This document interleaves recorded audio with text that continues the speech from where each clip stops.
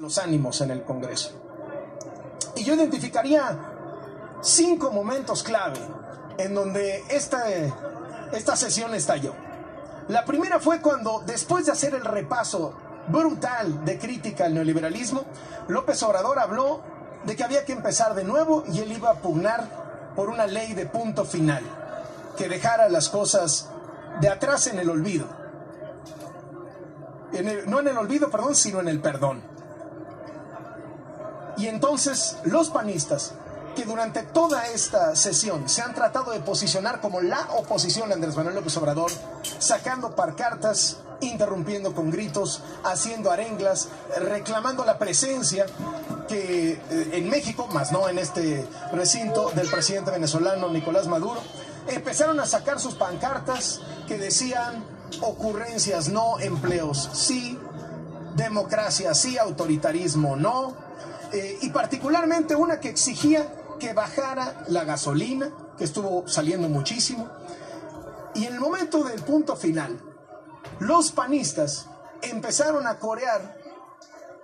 los 43, este grito que ha hecho famoso justamente el López Obradorismo de contar del 1 al 43 en memoria de los 43 normalistas de Ayotzinapa.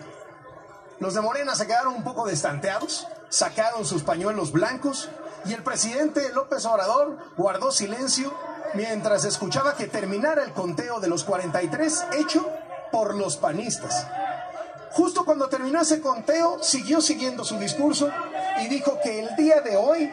entraría en vigor la Comisión de la Verdad para no dejar impune ese atroz episodio de Ayotzinapa. Y entonces esa fue la gasolina que necesitaba la bancada de Morena para brincar de sus curules y empezar a tapar las molestias, los enojos del PAN que gritaban justicia, justicia, con aplausos, con presidente, presidente, es un honor estar con Obrador, sí se pudo, sí se pudo, que fueron algunas de las porras que constantemente estuvieron diciendo los panistas. Y hablando de gasolina, fue justamente la gasolina lo que generó el que me parece segundo más relevante episodio de ánimos encendidos en este salón de sesiones del Congreso cuando empieza a hablar de economía y empieza a hablar de productos energéticos, los panistas sacan su pancarta exigiendo que baje la gasolina y se enciende el presidente López Obrador, se voltea a su derecha donde está la bancada de los panistas y les dice, ahora resulta que los que aprobaron el aumento en la gasolina exigen que se baje. Y eso fue también combustible para que la bancada de Morena saltara de nueva cuenta, aplaudiera, lanzara sus arengas, sus gritos, mientras los panistas le decían hoy, hoy, hoy, porque López Obrador les aseguró que bajaría la gasolina, pero después de que se hiciera la refinería en dos bocas y cuando se rehabilitaran las otras seis refinerías de Pemex. Momentos que no me imaginé atestiguar en mi vida como reportero. Un aplauso a un integrante de la familia Trump llegado desde la izquierda mexicana y respaldado por los otros grupos parlamentarios. Cuando mencionó primero el presidente López Obrador la presencia de Mike Pence y su esposa, vicepresidente de Estados Unidos, y su esposa, los de Morena, los del PRI, los PAN se voltearon hacia la zona de invitados especiales que está en un piso superior atrás de ellos y empezaron a saludar con su manita. Y cuando habló de Ivanka Trump, se llevó un aplauso Ivanka Trump unánime en el Palacio de los Congresos. Hubo quien no aplaudió, pero nadie abuchó, nadie reclamó absolutamente nada. Y nutridamente, debo decir, el aplauso a Ivanka Trump llegó desde la bancada de Morena.